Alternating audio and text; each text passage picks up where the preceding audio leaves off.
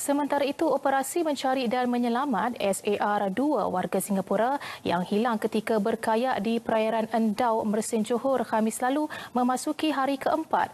Operasi meliputi pencarian udara, laut dan pesisir pantai diperhebat dengan kekuatan 104 anggota operasi dengan kawasan pencarian juga diperluaskan.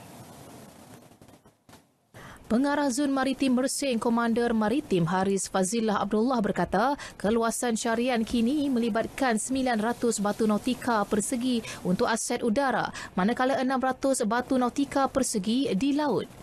Kalau sekiranya kayak itu tenggelam, dia boleh dikatakan hampir sama dengan berada di dalam air. Dia kata apa? Dia tak, tak tenggelam. Mungkin dengan harapan dia tidak tenggelam. Tapi kalau sekiranya kayak itu capsize, dia same uh, water level dengan air itu agak memberi kesukaran untuk kita kesan ha, mengesannya lah. Menurutnya, faktor cuaca disebabkan monsun barat daya ketika ini turut mempengaruhi kesukaran operasi SAR yang dijalankan.